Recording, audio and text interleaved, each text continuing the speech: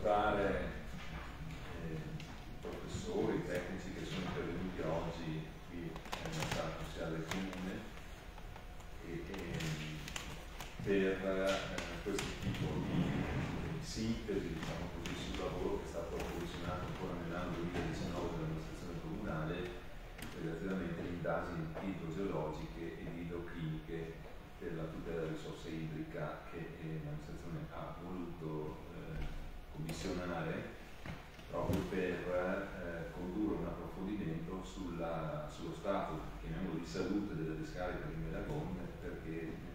c'erano dei dubbi sia sulla staticità del contenitore, lo sapete benissimo, questo, questo grande, grande, invaso grande di cemento armato si trova proprio sopra una falda idrica e, e, quindi avevamo timore che potessero essere nel corso degli anni degli sversamenti di materiale nocivo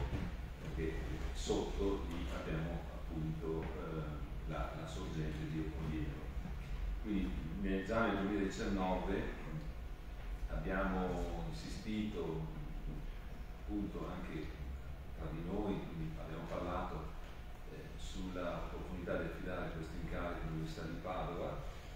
e eh, abbiamo voluto eh, condurre questi accertamenti che già hanno eh, manifestato una sintesi che è già stata resa pubblica ed è, è stata resa nota circa anche la eh, non eh, presenza di rischi anche dal punto di vista idrogeologico della discarica di Milano e che oggi comunque noi andiamo a completare con ulteriore approfondimento che è stato commissionato dall'Università di Padova. E io ringrazio eh, appunto i professori che sono presenti, eh, la professoressa Italiana,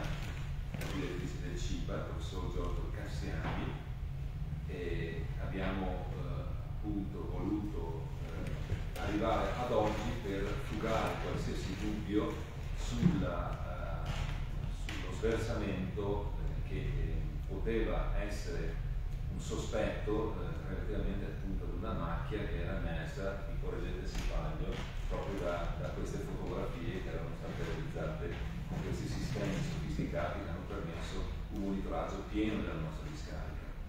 E quindi io mi fermo qua, lascerei la parola all'assessore all'ambiente Monica Giorgi che ha eh, coordinato questa attività, che è un'attività che eh, si è voluta eh, intraprendere appunto con la di tutta l'amministrazione comunale, con eh, l'assessore Monica eh, Gios, ma anche con eh, l'assessore Chiara Stefani, presidente di amministrazione, l'assessore Diego Rigoni, che era l'assessore e oggi delegato al patrimonio, che ringrazio per aver portato avanti questo ruolo di coordinamento. Cedo la parola all'assessore Monica Gios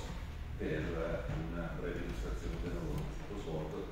per poi passarla appunto ai tecnici che hanno lavorato su questa discarica. Eh, buongiorno a tutti, eh, grazie di essere qua presenti tutti quanti. Come ha riassunto bene il sindaco, eh, siamo arrivati a, una conclusione rispetto alle indagini che sono state fatte sulla discarica di Melagon proprio per valutare il, il rischio che questa discarica poteva dire, eh, essere rispetto all'integrità delle acque che si generano alla base della, del, dell'ossicio classico, ovvero eh, poteva essere un rischio per il risorgire delle sorgenti dell'Overo. Questo perché questa discarica esiste in una zona particolare dell'altopiano, zona che è caratterizzata da un forte persismo. Quindi c'è stata una preoccupazione da parte nostra rispetto appunto alla tenuta di questa discarica nel tempo. E questa preoccupazione è stata accolta dall'amministrazione che ha prontamente eh, ingaggiato eh, gli ingegneri di Padova, l'ingegner Deiana e l'ingegner eh,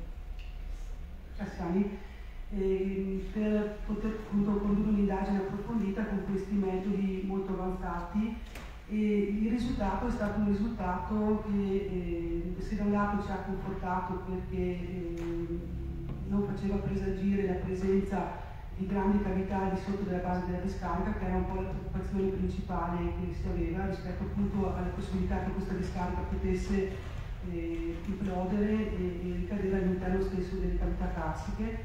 E, ehm, però nello stesso tempo è stata segnalata eh, la, la, presenza di una macchia, chiamiamola così, eh, che poteva far presagire eh, ci fosse una perdita di liquido da parte della, della base della discarica. È stato fatto un ulteriore approfondimento, eh, pare che questa perdita non ci sia e che questa zona umida che si vede alla base della discarica attraverso l'indagine compiuta ingegneri di Padova sia in realtà una macchia che non ha a che fare con la, lo sversamento di percolato. Questo ci conforta, ci dà speranza che eh, appunto le, le, le, nostre acque non vengano contaminate assolutamente da un'eventuale perdita appunto eh, in questo momento della discarica, però ci fa, ecco, ci, ci, ci fa pensare comunque che eh, questo è un punto di partenza, non è un punto di arrivo, o meglio, sappiamo di avere questa, questa presenza in altopiano, sappiamo che nel tempo le discariche tendono a modificarsi, non sono mai statiche, eh, il contenuto delle discariche continua a evolvere, continua a modificarsi sia in peso che in composizione, quindi questo deve essere comunque un punto eh, da cui eh, partire per continuare ad osservare nel tempo eh, come si comporta questa discarica e continuare a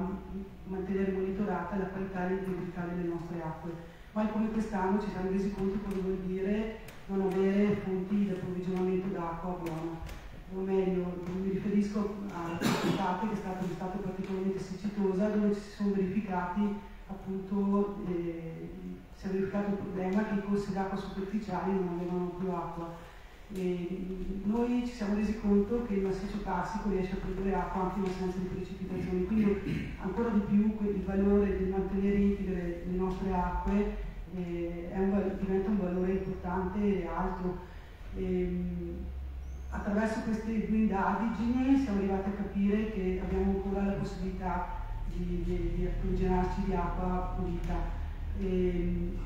ci piacerebbe che questo rimanesse così nel tempo anche per le generazioni future, o meglio, siccome eh, questa discarica è stata chiusa, quindi non riceve più eh, inquinanti. E mh, è stata dichiarata eh, completamente non più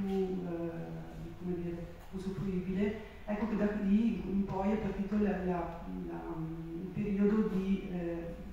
controllo post mortem che durerà 30 anni e che sarà in capo a Gava per 30 anni. Passati questi 30 anni ovviamente questa responsabilità tornerà in capo al comune. Noi non dobbiamo dimenticarci nel tempo che comunque dovremo continuare a controllarla per far sì che eh, non diventi un problema negli, anni futuri. Ecco. Quindi se da un lato siamo molto contenti del risultato, dall'altro sappiamo che comunque non finisce qui, dobbiamo mantenere costante il controllo nel tempo. Eh, proprio per garantire alle future generazioni di poter avere quello che abbiamo avuto noi, cioè avere acqua potabile e pulita. Grazie mille a tutti quanti.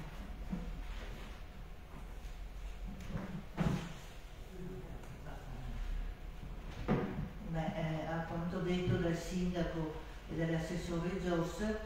posso aggiungere che beh, adesso sarà interessante per tutti vedere i risultati della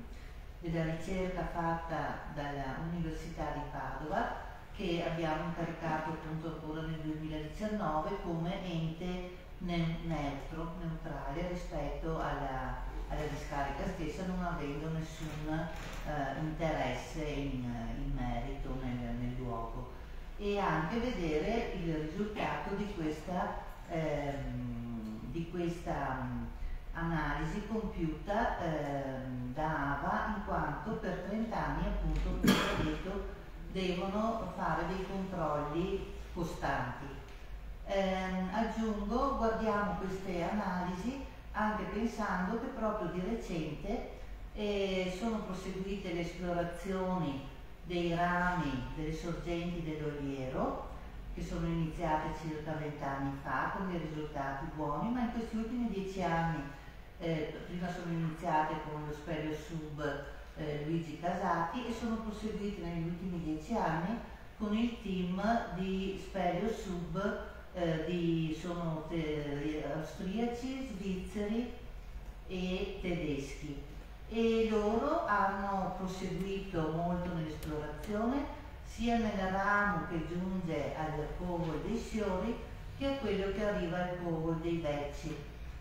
proseguendo con grandissime difficoltà fino punto, eh, ai punti attuali, guardando la, la, la, hanno riportato sulla mappa il loro il percorso fatto e vediamo come i rami proprio convergano nella zona proprio di, eh, di Melagon, della valle di Melagon. D'altra parte sappiamo che circa l'80% delle acque dell'altopiano si convoglia proprio in quel bacino, quindi motivo in più per tenere la discarica visto che oramai mh, purtroppo era stata già realizzata molto prima che noi fossimo amministratori e di tenerla sempre monitorata. Ecco, e grazie a tutti di essere venuti. Grazie, buongiorno a tutti, porto i saluti e i ringraziamenti dell'Università di Padova coinvolta in questo studio, detto eh, correttamente, eh, ringrazio il sindaco, l'assessore e la dottoressa Stefani per aver introdotto e, e sintetizzato il lavoro fatto dall'Università di Padova, chiamate in causa in questo studio come ente neutrale. Sintetizzo solo brevemente quella che è stata la procedura scientifica che ha accompagnato poi le verifiche che sono state eseguite da AVA e da Sirgeo in particolare. E, ehm, tutto lo studio è stato preceduto da una modellistica tridimensionale predittiva sulla base di due quesiti fondamentali che sono stati prima riassunti. Il primo, la possibile presenza di grandi cavità al di sotto della discarica che potessero costituire un problema dal punto di vista strutturale. Il secondo, la presenza di perdite, quindi di percolato, che potessero andare a eh, diciamo così, eh, inquinare le falde preziose di cui si è parlato. I due quesiti sono stati realizzati con una modellistica predittiva tridimensionale che ci ha consentito in campo di eh, progettare e poi realizzare le misure con diagnostica di tipo non invasiva, con tomografia elettrica di resistività, che rispondono ai due quesiti appunto con due risposte completamente diverse. Da una parte i vuoti con risposta alta, alto resistiva, quindi non passaggio di corrente, dall'altra eh, l'acqua o liquidi di qualsiasi genere, soprattutto il percolato molto conduttivo, elettricamente, con risposta appunto conduttiva. Si è parlato di una macchia, allora escludendo la presenza di grandi cavità eh, al di sotto eh, della discarica, eh, con questa modellistica e poi con le misure che hanno confermato appunto l'assenza di eh, grandi risposte resistive, la presenza di questa macchia di cui si è parlato in precedenza eh, si è supposto fosse eh, non tanto legata alla presenza di percolato quanto alla presenza di acqua. Risposta qui confermata appunto grazie alle perforazioni che sono state eseguite in loco. Oggi quindi possiamo parlare di un esempio virtuoso portato avanti dal comune di Asiago attraverso questo studio e questi risultati che danno le prime garanzie non rubo ulteriore tempo, lascio la parola all'ingegner Sottani che illustrerà appunto la fase finale con verifica di queste evidenze non invasive. Grazie. Grazie professoressa, buongiorno a tutti. Allora, nella presentazione odierna eh, troverete una sintesi eh, asciutta dei risultati che appunto sono stati già anticipati negli interventi precedenti, quindi abbiamo articolato una decina di slide giusto per dare un riscontro di completezza rispetto alle argomentazioni di cui già è stato fatto qualche cenno. Quindi c'è una premessa che riassume gli obiettivi della nostra investigazione diretta che trae appunto spunto dalle conclusioni appena citate dalla professoressa Deiana, derivate dalla tomografia elettrica di resistività. Alcuni cenni riassuntivi sulla, sull'impianto di discarica con un aggiornamento di dati di gestione che è interessante per far capire eh, le attuali tendenze della produzione del percolato scusate, eh, a seguito del completamento della copertura dell'impianto che eh, ovviamente precede il, il collaudo funzionale della, diciamo, della fine dei conferimenti eh, della discarica. Il capitolo 4 richiama per sommi capi la parte di geofisica e poi 5, 6 e 7 andremo a vedere velocemente che cosa abbiamo eh, sviluppato direttamente in campo per dare concretezza al, allo studio che il gestore Alto Vicentino Ambiente ci ha commissionato. È già stato citato il fatto che la discarica si ubica in un contesto assolutamente delicato, direi che è un punto di vista imprescindibile, sia per il, i caratteri fisiografici, per la posizione territoriale e per l'assetto idrogeologico che l'impianto sottende. Ecco, il, il gestore Alto Vicentino Ambiente, eh, a seguito dell'input che consegue alle verifiche geofisiche, ha dato input e, e, e attivazione rispetto alle indagini inedite, sperimentali, che attraverso eh, una perforazione profonda di 25 metri che eh, abbiamo condotto pre-concordando l'ubicazione con eh, i docenti dell'Università di Padova in modo da corrispondere il, il focus dell'indagine rispetto a quella famosa macchia di cui si era parlato prima. Ecco, questa indagine diciamo, eh, ha l'obiettivo di eh, mettere a fuoco effettivamente le caratteristiche eh, del sottosuolo in ordine alla verifica che eh, le, le, richieste del gestore di eh, comprensione e approfondimento della situazione ambientale profonda eh, ci siano appunto prefissi. E la discarica è attiva dal 2001, è autorizzata con una capienza complessiva di 140.000 metri cubi. E a partire dal 2004 eh, Alto Vicentino Ambiente eh, riceve in gestione eh, l'impianto e eh, il, il, gestore ai sensi di legge ha provveduto eh, con i vari adempimenti eh, connessi con la normativa di settore e i controlli correlati e aveva utilizzato la discarica in maniera conservativa per eh, far fronte diciamo, anche a eventuali eccedenze in caso di fermo dell'impianto di termovalorizzazione e in manutenzione. Ad ogni buon conto eh, l'impianto ospita essenzialmente rifiuto secco residuo eh, di spazzamento stradale e i conferimenti cessano di fatto nel maggio del 2018 i lavori conclusivi che sigillano eh, definitivamente la struttura eh, dell'impianto di stoccaggio controllato, quindi il capping, la copertura, si concludono nel giugno 2020 con il collaudo poi del gennaio 2021. È interessante eh, citare, poi ci sarà un grafico molto eh, esplicativo, che l'efficienza attuale del sistema di impermeabilizzazione sommitale della discarica, che in qualche maniera misura eh, il grado di efficacia eh, del ripristino conclusivo si assesta sul 95%, il che significa che la produzione di percolato attuale residua è eh, grosso modo pari al 5% solamente del volume d'acqua meteorica che cade eh, sopra al sedime dell'impianto di scarica. Quindi va da sé che a seguito del completamento dei lavori di impermeabilizzazione è diminuito di molto il volume di questo liquido residuo che si forma appunto eh, dal contatto tra le acque piovane e i rifiuti stoccati nell'impianto. Ecco il grafico di cui vi parlavo prima, dove vengono eh, correlate sostanzialmente la produzione di percolato in colore rosso espresso in metri cubi mese con l'andamento delle piogge. Si vede una correlazione assolutamente diretta, abbastanza intuitiva eh, nel periodo che eh, anticipa il completamento del capping della discarica che è rappresentato dalla linea verticale di colore verde che appunto accade nel giugno del 2020 la tendenza a seguire è la tendenza attualizzata dove nonostante le precipitazioni ovviamente indipendenti da ogni attività antropica la produzione del percolato eh, assume una tendenza direi eh, sicuramente confortante in decrescita.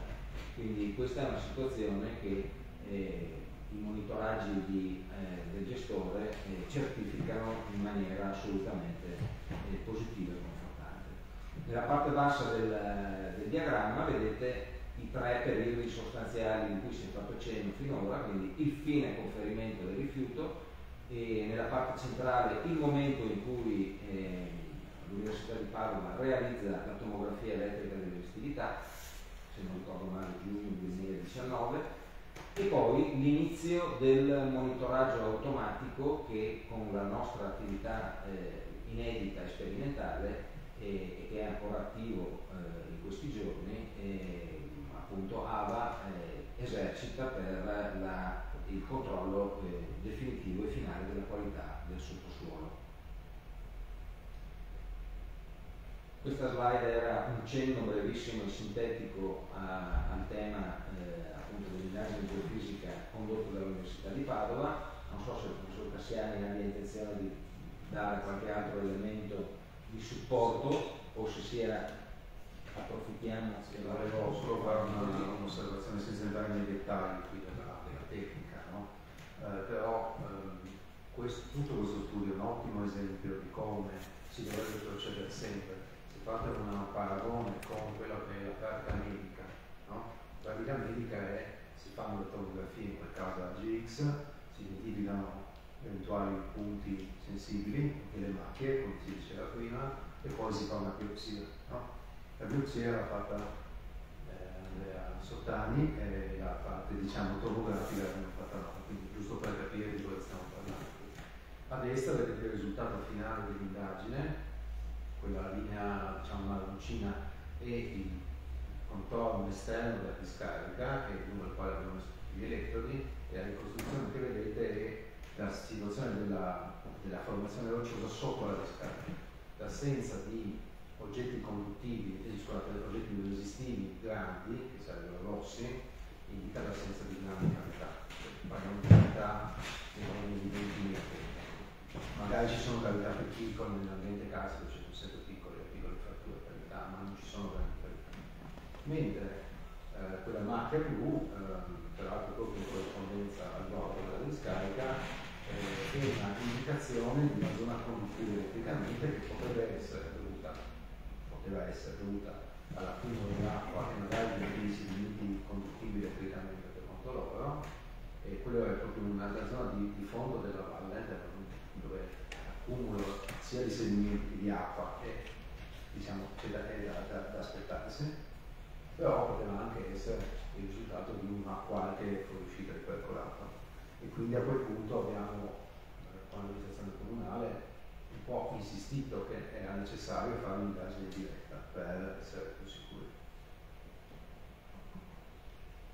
Grazie Giorgio, quindi i presupposti sono chiari e avendo concordato insieme con l'università il punto del sondaggio, nel luglio del 2021 eh, abbiamo organizzato appunto la perforazione perforazione che ha visto poi la realizzazione di un foro eh, profondo 25 metri dal piano di campagna, piano di campagna che se guardate nella mappetta in alto a destra eh, materializza il punto di perforazione proprio al piede del versante eh,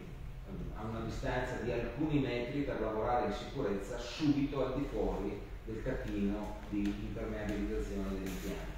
Quindi il punto prescelto corrisponde sia al cuore, al nucleo dell'anomalia di resistività,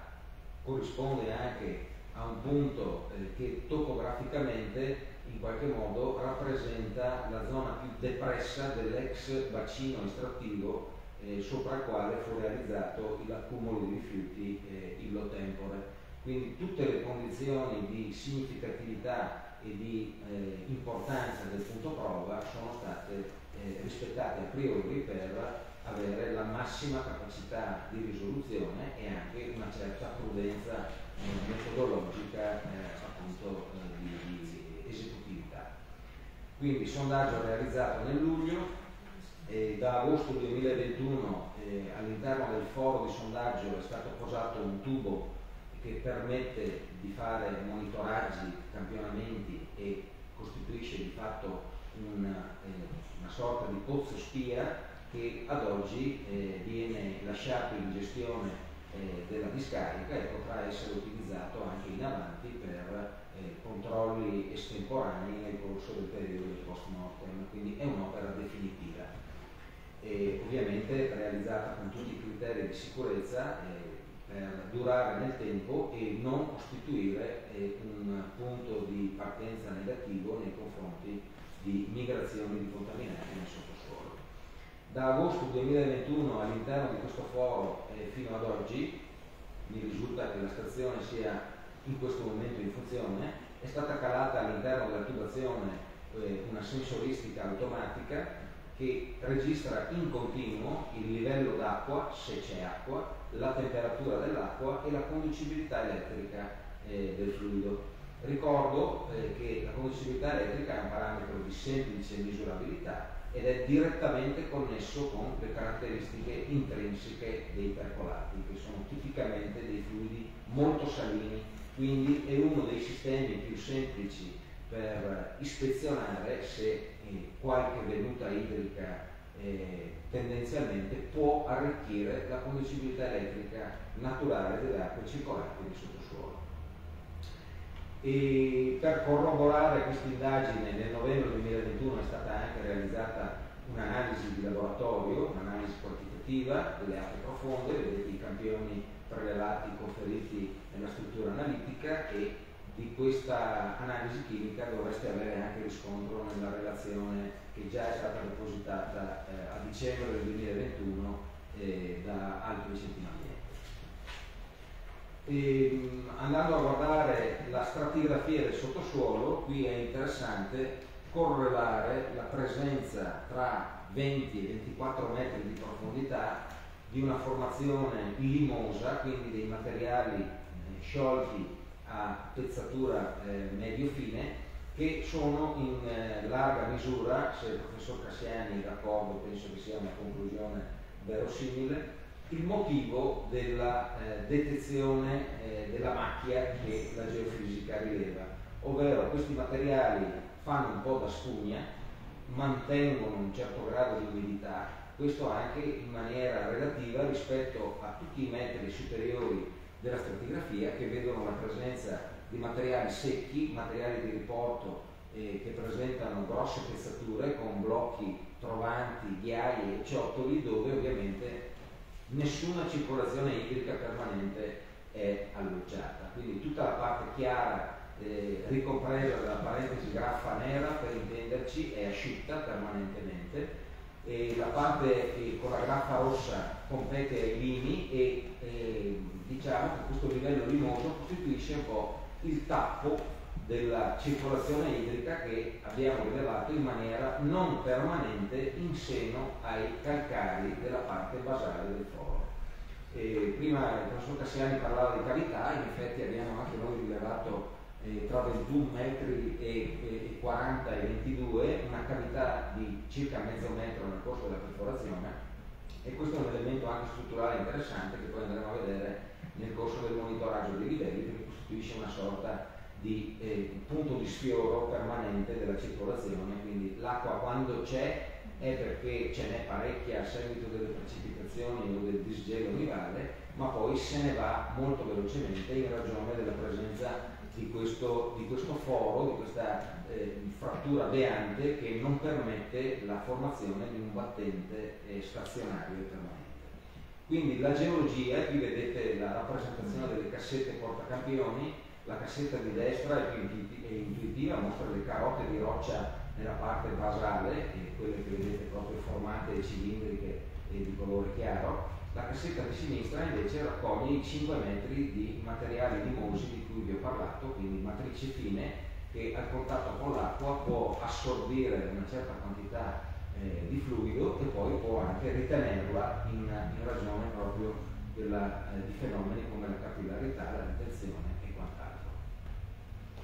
Nel diagramma che adesso vi sto presentando è rappresentato il monitoraggio del livello idrico eh, condotto dal luglio 2021 a tutt'oggi. La eh, linea punteggiata rossa rappresenta il fondo del piezometro a 24 metri e i pallini rappresentano le occasioni di sopralluogo della squadra che va a tentare a scaricare la sonda, il pallino rosso la data di campionamento per la destinazione al laboratorio di analisi e tutti i picchi che vedete correlati con l'istogramma della precipitazione eh, riportato in azzurro chiaro mostra la dinamica di presenza e formazione dei deflussi nel sottosuolo. Quindi in tutti i periodi, anche prolungati in cui si osserva una linea azzurra orizzontale, non c'è acqua nel sottosuolo, nemmeno in roccia, e non sta circolando assolutamente eh, acqua in ragione ovviamente dell'assenza di precipitazione. Invece se osservate per esempio poco a ridosso di novembre, eh, data del campionamento, vedete nella parte bassa del diagramma quelle, gli assi dell'istogramma in, in, azzurro chiaro che rappresentano la precipitazione in, espressa in millimetri e a seguito eh, di alcuni eventi prolungati o intensi il livello nel tubo si alza di un paio di metri. Mantiene una certa persistenza per alcuni giorni, però cessata la precipitazione inizia la curva di svaso e quindi il livello piano piano scende, poi se piove si rialza, se non piove invece andrà a stabilizzarsi su una linea orizzontale. E non tenete conto del primo ramo di esaurimento perché è dovuto al fatto che per la perforazione in roccia abbiamo dovuto utilizzare eh, circa 20 metri cubi di acqua di acquedotto per raffreddare i pensi di scavo, quindi tutta la parte di sinistra dove vedete quel ramo omogeneo di decrescita del livello è da intendersi come acqua pulita di acquedotto di perforazione che eh, se ne va piano piano eh, fino alla ristabilizzazione delle condizioni naturali. Quindi con questo diagramma noi abbiamo un po' la mappatura completa e continua di quello che succede a 20 metri di profondità, riuscendo così a correlare in maniera molto precisa eh, la formazione del battente in foro esclusivamente con eventi di natura naturale e di derivazione pluviometrica. Consolida l'analisi, la misura della temperatura espressa qui dalla curva di colore magenta che va eh, rapportata al diagramma delle ordinate secondarie alla destra del, del grafico, quindi la temperatura al fondo del tubo rimane ancorata intorno ai 7 gradi eh, di eh, Celsius, di, appunto di, di, temperatura, per quasi tutto il periodo di monitoraggio. Questo è molto interessante perché dovete immaginare che nel mm, modello concettuale ipotetico di una perdita di un percolato eh, c'è da attendersi che questa possa accadere anche in un periodo estivo in cui eh, l'invaso eh, va un po' in equilibrio con la temperatura esterna, temperatura esterna rappresentata dalla curva di colore arancione e da leggere sull'asse di sinistra, dove vedete che appunto eh, l'aria ambiente arriva anche a 20-25 gradi di temperatura. Quindi eh, ove non ci siano eh, reazioni esotermiche in seno al percolato che ne innalzano la temperatura,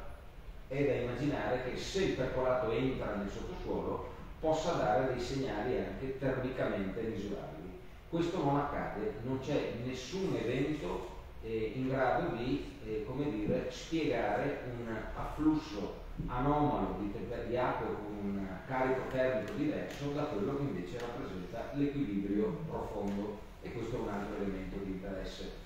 L'ultimo elemento forse più interessante è dato dalla conducibilità elettrica che vi ho detto essere ampiamente correlabile con le caratteristiche chimiche di un percolato. Qui, eh, senza entrare adesso in dettagli e in tecnicismi, la cosa interessante è osservare che la fascia di oscillazione della conducibilità elettrica delle acque nei periodi in cui si forma il battente a seguito delle precipitazioni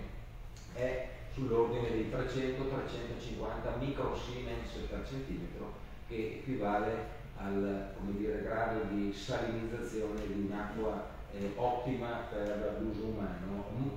acqua di rubinetto. Molte acque minerali eh, in commercio hanno, hanno, una conducibilità elettrica anche molto superiore a, a quella di cui vi sto parlando. Quindi questa è acqua dolce, è acqua pulita, è acqua che non ha in nessun momento di questo anno di monitoraggio eh, non dà modo di verificare nessun influsso eh, anomalo eh, che possa far eh, presupporre una qualche perdita significativa e misurabile di percolato dal fondo della discarica. Ripeto, il punto di cui parliamo è eh, come dire, localizzato eh, nella maniera ottimale per andare a cercare eh, i segnali di cui vi ho parlato.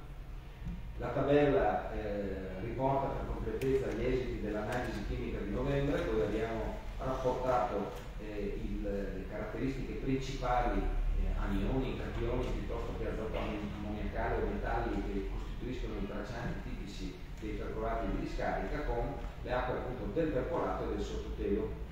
Se guardate per esempio la conducibilità elettrica che abbiamo appena visto, l'acqua profonda 304 microsiemens, il sottotelo arriva a 2000 anche, ma il percolato come vedete arriva a 15.000 microsiemens. Quindi laddove ci fossero degli indizi interessanti, questo era uno dei primi, eh, dei primi dire, controlli che dal punto di vista istologico, come ha detto il professor Cassiani, era interessante eh, eseguire. E le riprove quindi anche dal punto di vista degli esiti del laboratorio eh, sono assolutamente rinfrancanti. Quindi andando a sintesi, i risultati conseguiti mostrano che i caratteri fisici e chimici delle acque sotterranee intercettabili del pozzo spia, perforato a ridosso dell'impianto, sono una prova concreta della mancanza di collegamenti funzionali con il corpo dei rifiuti. Quindi in nessun caso, in nessun momento abbiamo mai osservato nessun tipo di collegamento tra percolato e acque presenti nel sottosuolo. Dal punto di vista idrogeologico la circolazione profonda è legata unicamente all'infiltrazione di acque meteoriche o di disgelo lunare e aggiungo, le informazioni raccolte fanno intendere che il meccanismo prevalente di deflusso profondo sia regolato da dinamiche di moto orizzontali più che verticali. Quelle verticali ci avrebbero preoccupato, quelle orizzontali invece sono assolutamente normali e sono ovviamente da relazionare con la struttura profonda del, eh, del bacino eh, intercettato dal nostro tubo spia. La circolazione profonda, ripeto, a 25 metri di profondità dal piede inferiore della discarica non è permanente, l'abbiamo visto nell'andamento di regime e questa saturazione dipende esclusivamente dal regime degli afflussi meteo. Non sussiste quindi nessun eh, indizio o comunque eh, effetto riconducibile al eh, percolato che possa essere concretamente ipotizzato tramite le misure. Anche le risultanze analitiche corroborano questo quadro e consentono di concludere che a tutt'oggi nessun nesso di causa attivo o significativo tra rifiuti e l'ambiente geoidrologico è da ritenersi in funzione. Vi ringrazio. Grazie ingegnere Sottani, ringrazio anche l'ingegnere Cassiani perché è stato fatto un approfondimento che era utile per noi perché si era generato dopo anni dell'esistenza di questa discarica un timore che potessero esservi delle eh, complicazioni sotto il profilo ambientale, proprio una, anche per fugare tutti i dubbi relativamente al funzionamento, relativamente anche a quella che era l'ipotesi paventata di uno sversamento di percolato, abbiamo deciso di conferire questo incarico che oggi ci conforta anche sulla tenuta di, questa, di questo grande contenitore. La, la, non so se eh, Ingegner Camerin voleva... Sì. Eh, Beh, innanzitutto porto, io sono era... responsabile della discarica. Eh. Sono stato la discarica. Sì, eh, vabbè, io sono Camerin di Ava, Ava ha acquisito la discarica nel 2004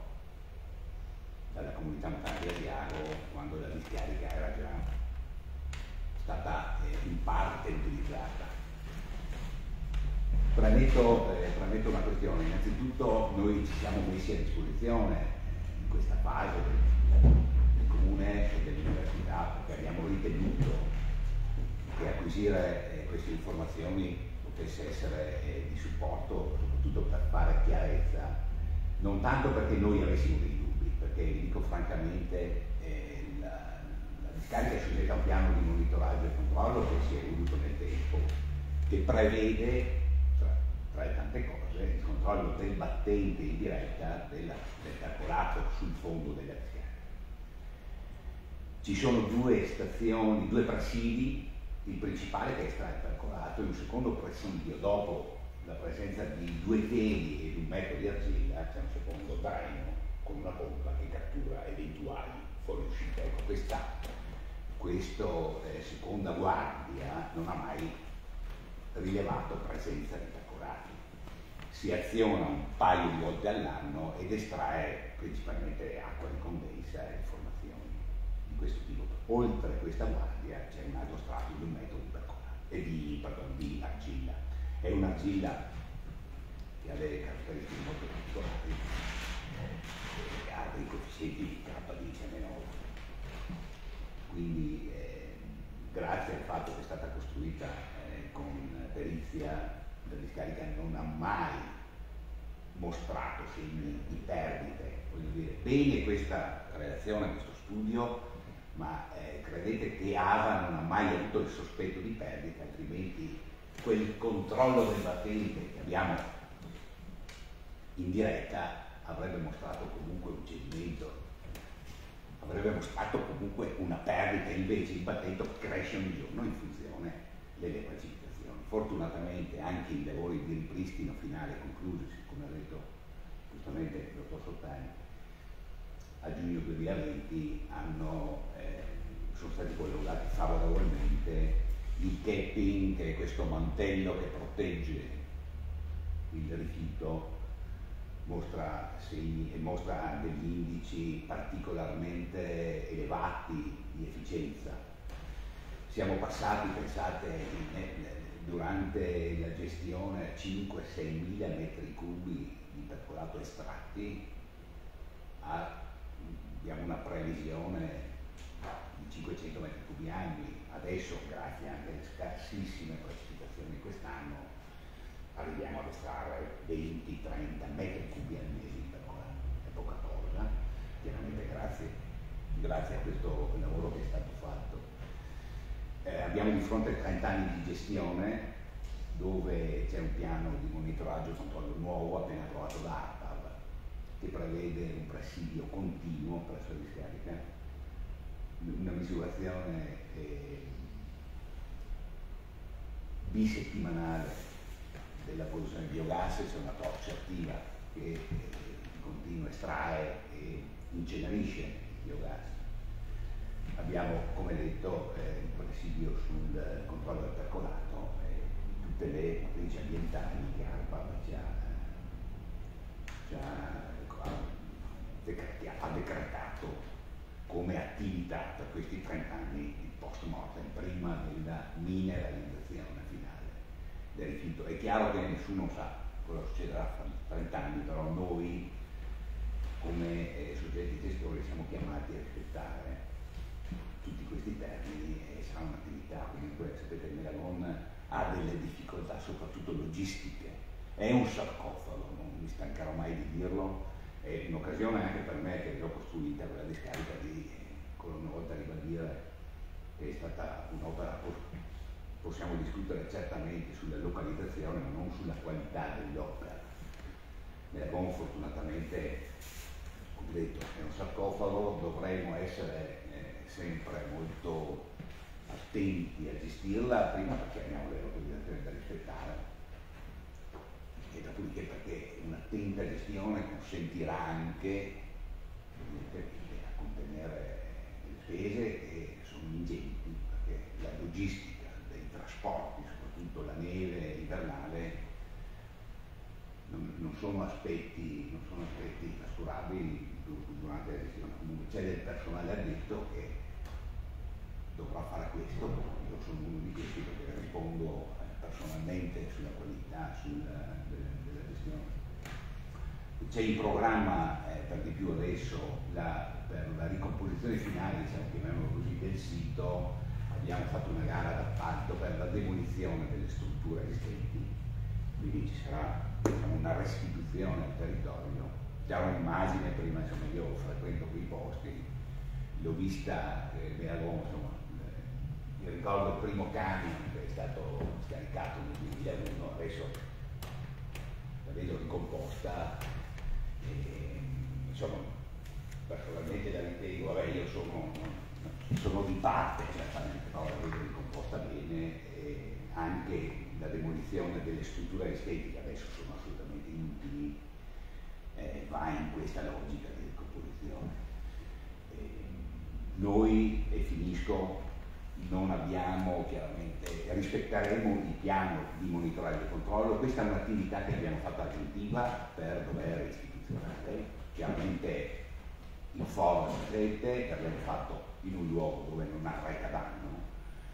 per noi l'indagine, noi l'indagine la consideriamo ultimata, il foro rimane, non abbiamo dubbi sul fatto che la discarica è aperta, come vi ho detto abbiamo un controllo del battente idraulico e che manterremo sempre al di sotto del metro di battente, quindi pensate che la discarica al massimo potrà contenere circa 15 metri cubi per colonna. Sono alla portata del fimoriero, per fortuna no, che ha ogni secondo il fimoriero, proprio 15 metri non, non c'è eh, bisogno in questo momento di, eh, di sospettare però insomma, ben, ci siamo resi ben volentieri disponibili di sostenere questa iniziativa che adesso fortunatamente abbiamo visto concludersi nel migliore dei modi. Ringrazio per questo il nostro consulente dottor Sottani e anche l'università perché ho visto che durante, durante questa, queste prove c'è stata molta condivisione di obiettivi e molta collaborazione. Quindi questo ha aiutato certamente a, a dare un senso poi ai numeri che sono stati Volevo capire, l'acqua che, di cui lei parlava, che è potabile, è proprio sotto la discarica? Eh sì, fluisce sotto la discarica. E quanto è, è proprio è un tipo una, una sorgente, cosa sarebbe? No, una circolazione che si sviluppa allorché innescata da flussi meteorici su ampia scala all'interno di, come dire, fessurazioni delle ammasso in movimento? È un'acqua in movimento, E quanto profonda è? Noi l'abbiamo rilevata intorno ai 23 metri di profondità della piana di Catania. Quindi quasi un laghetto? No, perché non è permanente, non è permanente, quindi è un livello che sale e scende, si alterna nel corso della, dell'anno, per lunghi periodi è tutto asciutto, poi quando piove questa onda di saturazione si muove lungo eh, il reticolo di fessure nella direzione della gravità, secondo le componenti della forza di gravità, quindi non è una vera e propria Quindi ci sarebbe di fatto un vuoto sotto il... Diciamo che ci sono delle fratture più o meno aperte, più o meno aperte, ma stiamo parlando di rispetto sì. alle cavità che sono state oggetto dell'indagine geofisica di tutt'altra eh, tipologia. Scusi, ma io parlo da ignorante. Nel senso che sottosuolo l'acqua c'è sempre, quindi sì. non posso andare a dire che siamo fini sotterranei, cavità, eccetera, c'è sempre. Il fatto che sia sfruttabile come risorsa dipende dalla porosità del sistema, cioè quanta acqua c'è e quanto rapidamente si riesce a estrarre. No? Tipicamente in pianura c'è la ghiaia, si estrae velocemente, ci. In un sistema carsico così ci sono sicuramente fessure più grandi e più piccole, io mi aspetto che sotto quel livello di 20 metri che può scendere sicuramente più basso sia quasi tutto saturo alla fine, più o meno. Ma il fatto che sia saturo non vuol dire che siano grandi cavità, è come se fosse un asciugamano bagnato,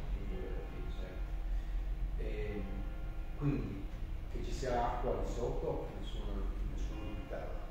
Che sia acqua pulita, siamo più contenti, cioè, che sia potabile e che non ha le radici di potabilità di un'acqua è la stessa che poi pian piano finisce ad essere vuoto è sotto il terreno, di fatto. Nella, roccia ci sono sempre delle... Eh, sotto la roccia, perché sopra la roccia c'è questa, questa gettata di cemento, per intenderci,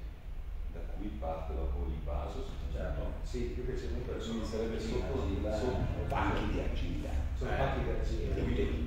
Sarebbe sotto la roccia, su cioè, cui poggia la discarica della roccia.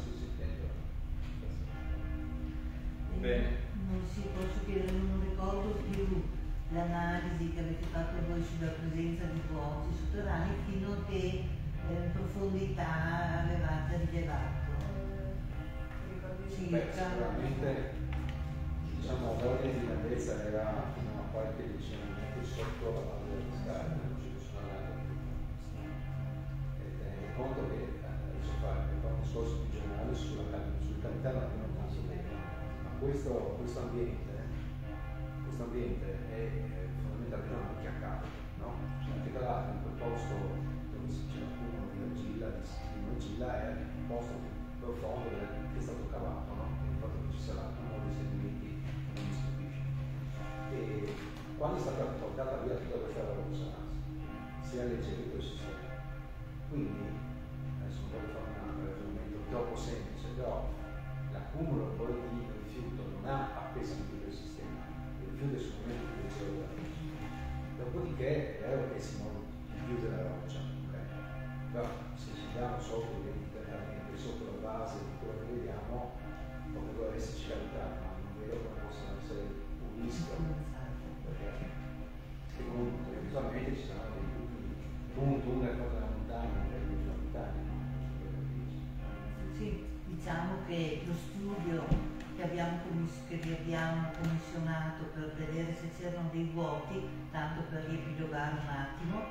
è perché a distanza di circa mh, in linea d'aria 300 metri c'è un'altra cava di fronte dove è presente un abisso che è stato esplorato, l'abisso Flavia è stato catestato con questo nome che aveva il soffitto, che ha il soffitto a circa, se non sbaglio, 4 metri dal piano della cava ed è un pozzo molto profondo, molto largo, è una zona tutta con notevoli presenze classiche, quindi il fatto di aver, eh, di aver potuto rilevare che sotto alla vecchia cava Melagon, poi diventata discarica, pur essendoci fessurazioni sia verticali che orizzontali, non siano però state rilevate delle cavità di notevoli dimensioni nel spessore di qualche decina di metri, questo è sicuramente confortante perché stessa cosa non sarebbe stata nella cava di fronte, diciamo così, siamo sempre nella stessa zona, quindi questo è stato diciamo, un elemento che eh, ha dire, tagliato la testa al toro per quanto riguarda una pericolosità immediata. Ecco. E questo ci ha resi no, eh, tranquilli da questo punto di vista. Il fatto che venga monitorata per i prossimi 30 anni, anche questo è, è importante, sempre considerando eh, che l'altopiano è il secondo massiccio carsico d'Europa, che ci sono circa 8.000 cavità catastate e quindi diciamo che anche a livello ben più alto del nostro, della regione, fino alle leggi nazionali, magari territori come il nostro non dovrebbero neanche essere ricompresi per la realizzazione di, di certi interventi pur, pur ehm, eh, sono d'accordo con quanto ha detto il l'ingegnere Camerini, che sulla eh, tecnologia con la quale è stata fatta la discarica, sulla tecnica, sul materiale, credo che anche all'epoca fosse la più all'avanguardia, su questo non credo che nessuno avesse mai rilevato nessun niente, è stata la scelta della posizione, però adesso insomma possiamo stare po' più tranquilli. Grazie, ci sono domande da parte dei giornalisti. Ecco, bene.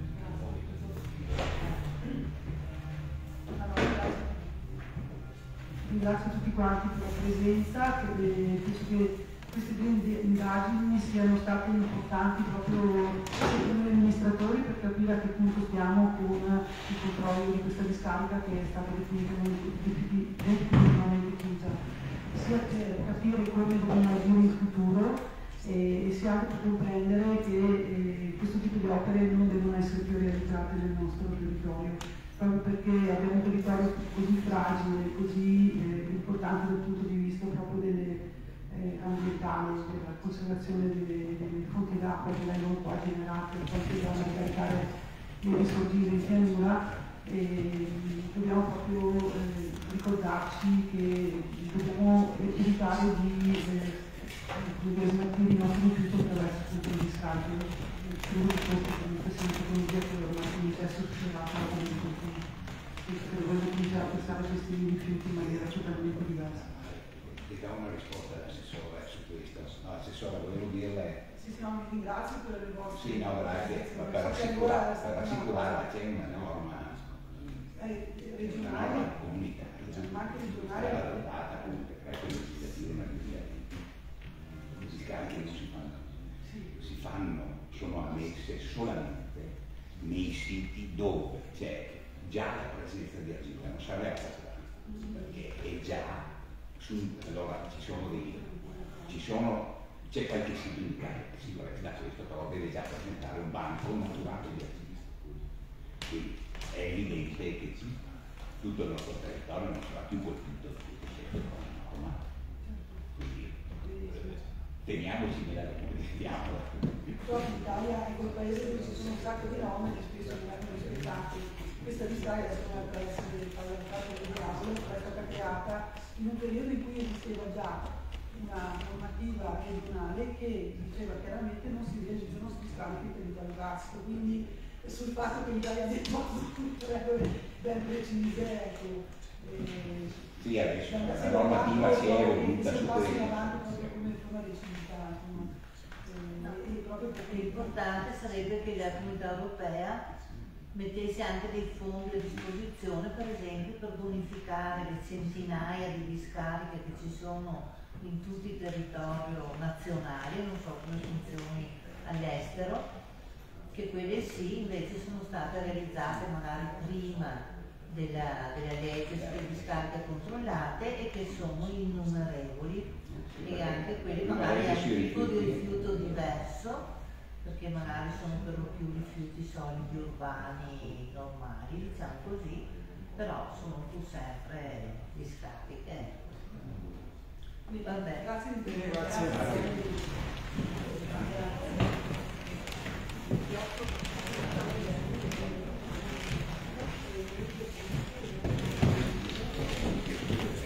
La batteria ufficina ci ha lasciato